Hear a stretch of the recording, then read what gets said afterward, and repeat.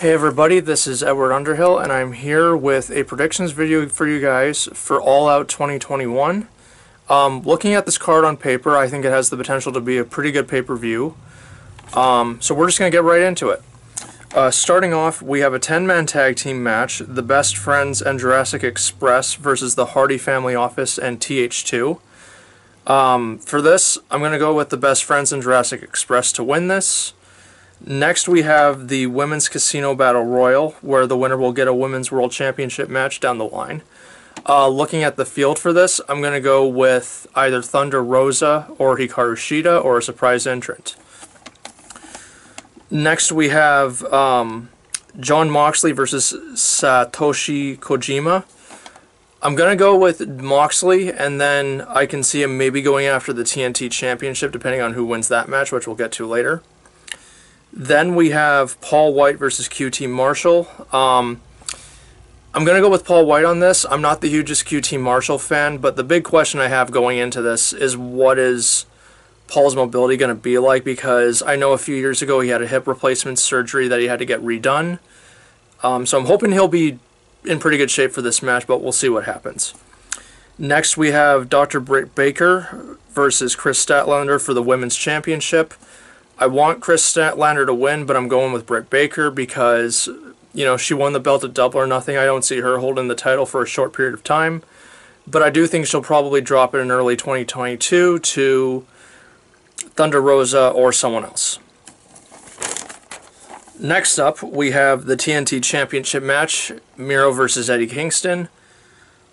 I'm going with Eddie Kingston to win this, and I do want to say really quick, I'm not a fan of the AEW uh, TNT title with the green highlights and the white strap.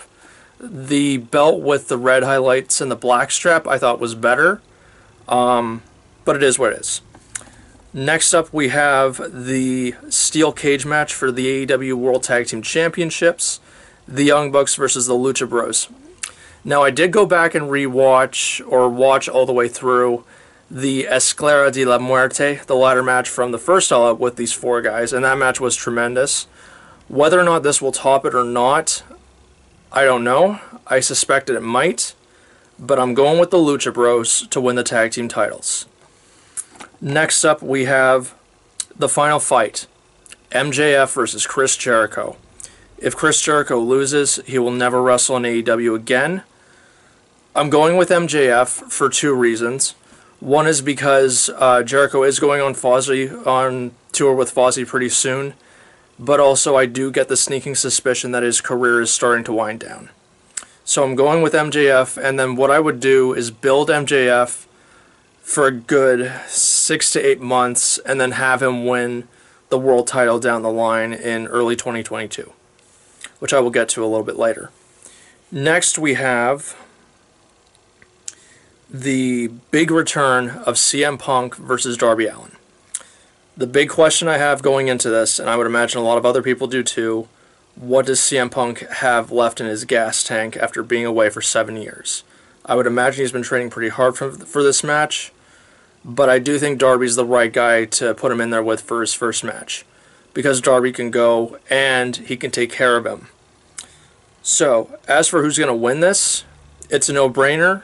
I'm going with CM Punk, but I do think this will be a great match. And then last but not least, we have the AEW World Championship match. Kenny Omega versus Christian Cage. Now, with this match, you could go either way with it. I want to see Christian Cage win and get a good six to eight month run as champion, but I'm going with Kenny Omega because I do think he's going to top uh, Jon Moxley's record for the longest run as world champion, and I do think Cody Rhodes is going to show up at the end of this match and turn heel. And that's going to play a big effect into the product going forward. If Christian Cage does win, I see him dropping it to MJF at Revolution 2022, possibly Double or Nothing 22, depending on what they want to do. And then after that, if MJF wins the belt from Christian Cage, have MJF hold the belt for a year, year and a half, and then face CM Punk. So those are my predictions for Double or, or AEW All Out 2021, guys. Leave your thoughts and comments below on what you think is going to happen.